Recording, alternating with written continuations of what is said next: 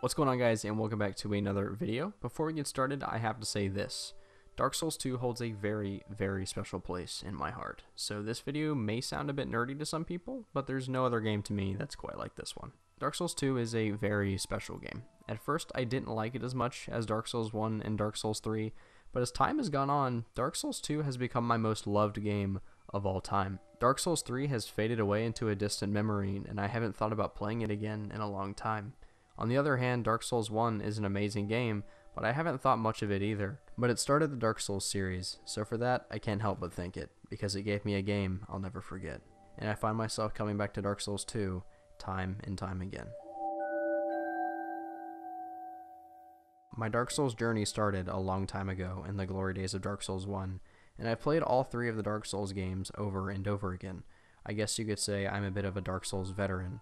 When Dark Souls 2 released, I spent most of my time playing it. I beat it on multiple characters and New Game Pluses and played hours and hours of PvP, formulating different builds and the infinite number of ways to have fun in a Souls game. And it was the first time I saw the Dark Souls community really grow into something great. But Dark Souls 2 was something more than a game. It was its own world, with so many different characters all trying to find their way in this confusing place they called Drangleic. You could really see how the curse affected them on an emotional level. Everything was normal for every one of them until the undead curse changed the world around them and themselves. Each character has a compelling story, and I found myself interested in every single one of them. Watching their stories unfold is sometimes hard, but you can't help but feel bad for some of them. Because after all, most stories in Dark Souls don't have a happy ending. Take poor Lucatiel for example. You know how her story ends. But there's something even more special about the stories of Dark Souls. There's almost always a deeper meaning, and trying to figure them out is always interesting. Dark Souls has a way of storytelling like no other. It gives you clues and the rest is for you to figure out, and that's something I'll always love about it. One thing I have to mention about Dark Souls 2 is Majula. It's a peaceful, quiet haven, surrounded by chaos in every direction, like a small beacon of life and hope. That's what makes it so special. In a world full of undead and turmoil, you can always come back and have some sense of peace. The music you'll hear when you get there is peaceful, but somehow ominous at the same time. That's actually what's been playing in the background of this video.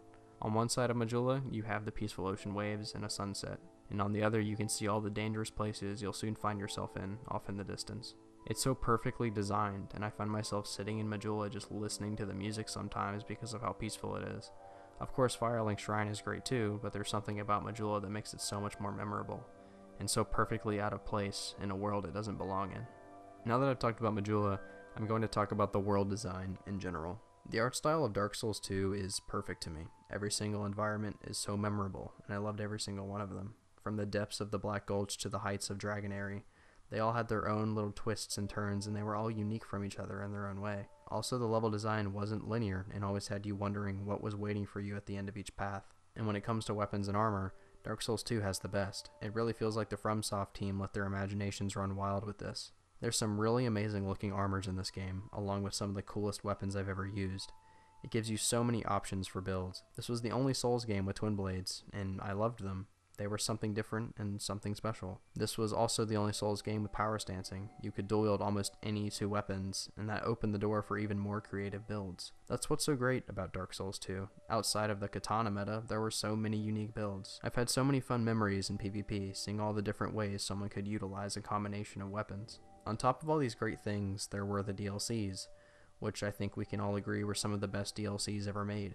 Each DLC had a whole new environments to explore, new weapons, new armor, new bosses, and everything in between. And there were three of them. I'll never forget descending down to the Queen and the Sunken King, or going up and down the Brume Tower to fight Raime, and fighting through the snowstorm in Eleum Loyce to get to the Ivory King. It was truthfully the cherry on top of an already amazing game.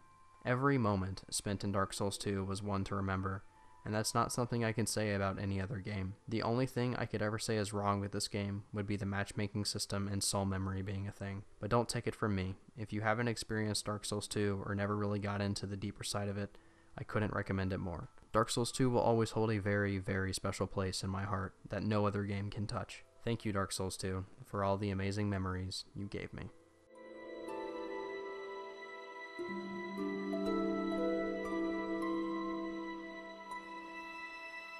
Hope you guys enjoyed the video. Make sure to like and subscribe, and put down in the comments what your favorite part of Dark Souls 2 was, and I'll see you guys in the next one.